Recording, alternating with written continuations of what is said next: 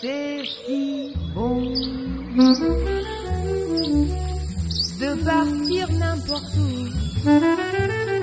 Bras dessus, bras dessous. En chantant des chansons. C'est